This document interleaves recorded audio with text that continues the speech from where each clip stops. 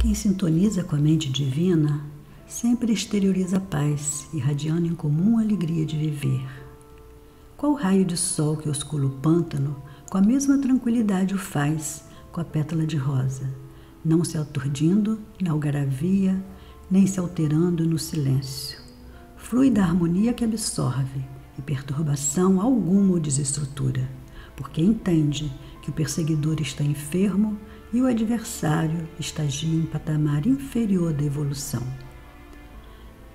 Ao invés de revidar o mal que lhe impõe, oferece o amor que lhes falta, em forma de perdão e de fraternidade que necessitam. Nunca hostiliza ninguém, porque superou as heranças do primarismo, aspirando às vibrações elevadas dos planaltos da felicidade, onde se encontra psiquicamente. Sente-se estimulado à evolução e mais se doa por constatar Quão imensa é a carência daqueles que ainda se estorcegam nas paixões perturbadoras. O hálito de Deus, que tudo vitaliza, nele encontra receptividade e penetração, por isso é feliz. Pessoa alguma logra vencer a jornada terrestre sem enfrentar os obstáculos necessários a seu processo de iluminação interior.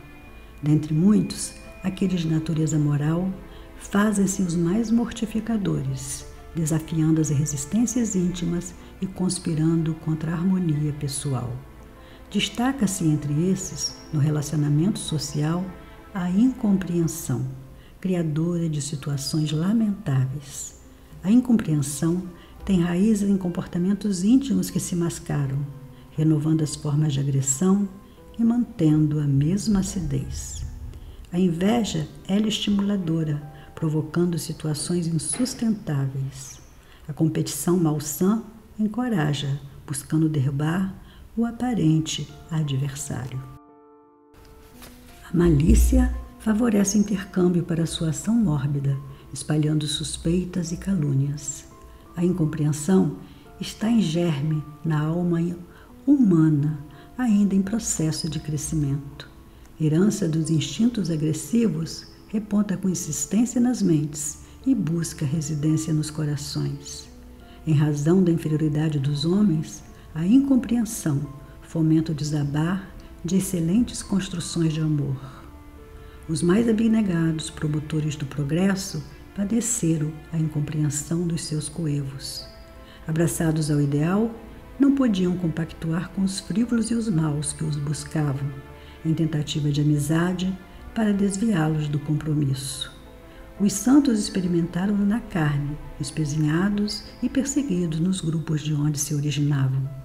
Os missionários do bem viram-se sacrificados e confundidos porque não pararam, cedendo nos seus ideais. Os invejosos crivaram-nos de espinhos e dores, gozando por vê-los quase sucumbir. Ninguém conseguirá caminhar em paz na multidão as diferenças ideológicas e morais, vibratórias e culturais não deixarão, por enquanto, que a fraternidade ajude e o amor ampare. Perdoa aos teus perseguidores, eles já são infelizes em razão do que cultivam no íntimo e do que realmente são. Prossegue em confiança, sem te deteres para examinar as incompreensões do caminho. Os apedrejadores adotam a tarefa de somente agredir, se tu quem avança compreendendo, todo mal que te façam não te fará mal. Pelo contrário, te promoverá a estágio superior se souberes enfrentar a situação. O teu exemplo de humildade ser-lhes-á o chamamento à renovação, à paz.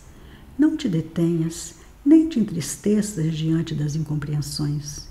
Nunca agradarás aos exigentes, aos irresponsáveis, aos ignorantes. Agrada então a tua consciência do bem e prossegue com alegria íntima pelo roteiro que elegeste, e não olhes para trás.